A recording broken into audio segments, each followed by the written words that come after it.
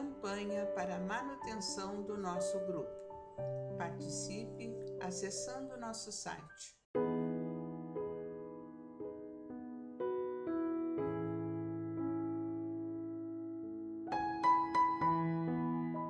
Olá, queridos irmãos, sejam todos muito bem-vindos ao canal do Grupo Espírita Francisco Xavier.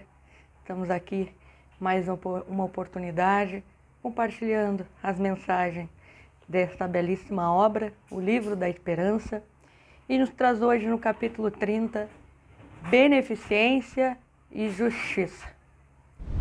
E como vós quereis que os homens vos façam, da mesma maneira lhe fazei vós também. Jesus, pelo Evangelho de Lucas, capítulo 6, versículo 31. E também introduz com a mensagem uma pequeno, um pequeno trecho do capítulo 11, do item 12 da, do Evangelho segundo o Espiritismo. Começai vós por dar o exemplo. Sede caridoso para com todos, indistintamente.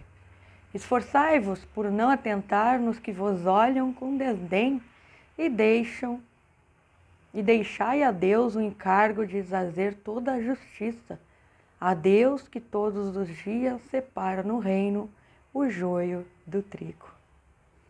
Vamos ver a mensagem de Emmanuel. Examinando a beneficência, reflitamos na justiça que a vida nos preceitua ao senso de relações. Sem ela, é possível que os melhores empreendimentos sofram, sofram a nódoa de velhas mentiras cronificadas em nome de, da gentileza.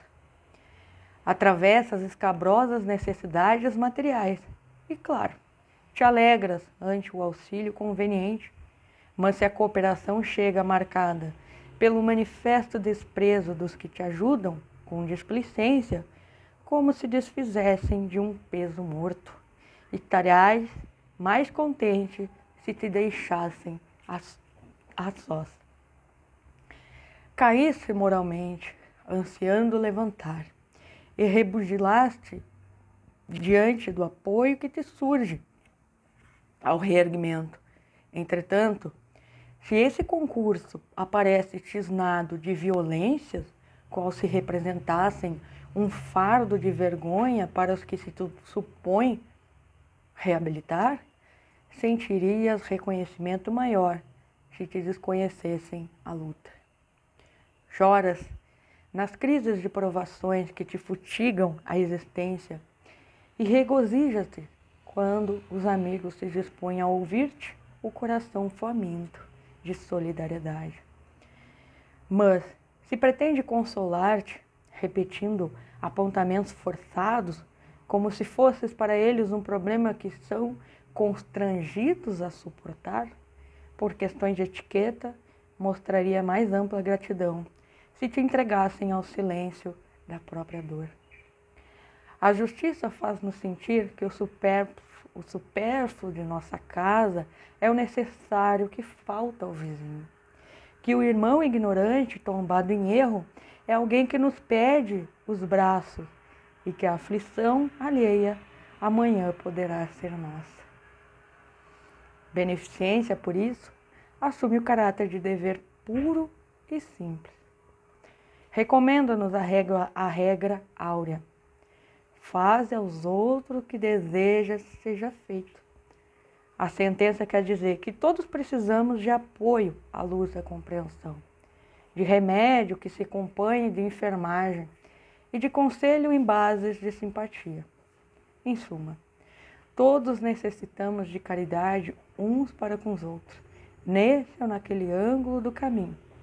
Mas é forçoso observar que, se a beneficência nos traça a obrigação de ajudar, ensina-nos a justiça como se deve fazer. Olha só. Por isso que Emmanuel nos traz nesse título beneficência e justiça que são caminhos a serem percorridos por nós e que exige mais do que mais do que qualquer outro sentimento ou construção moral que temos a, a construir, que é o equilíbrio. de sabermos utilizar o bom senso em todas as questões que nos acompanham, que nos cercam. Tem uma frase do Vitor Hugo que ele diz: Ser bom é fácil, o difícil é ser justo. Porque dentro desse equilíbrio entre ser justo e bom, muitas vezes ser bom não é ser justo. E ser justo não necessariamente não é ser bom. E olha, o grande dilema ao qual nós vamos se defrontando diante desses desafios da vida terrena, que é para que tenhamos reflexões diárias sobre as nossas atitudes, sobre a postura que adotamos muitas vezes diante de situações ou para com os nossos irmãos. que achamos naquele momento correto, mas nem sempre acaba sendo o mais adequado. Onde pode trazer muito mais um prejuízo aquele do que efetivamente algo que construa, que traga esse, essa, essa sensação de dever cumprido que todos temos ter. E não é fácil. Estamos aqui trabalha, trabalhando junto nessa construção, nessa transformação moral, porque a gente quer fazer o nosso melhor. E Jesus nos disse que para nós fazermos aos outros o que desejaríamos que fizéssemos para nós. Apenas isso. E às vezes gostaríamos que alguns fossem mais firmes conosco, ou nem tão firmes. Mas isto faz parte do nosso processo de aprendizado, porque nós estamos lidando com seres humanos.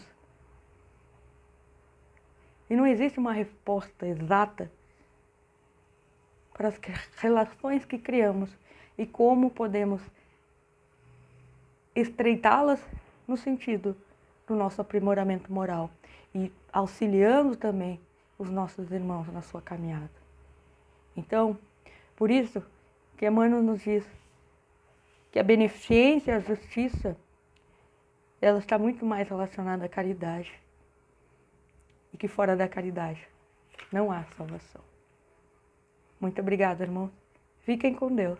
Até a próxima. Campanha para a manutenção do nosso grupo. Participe acessando nosso site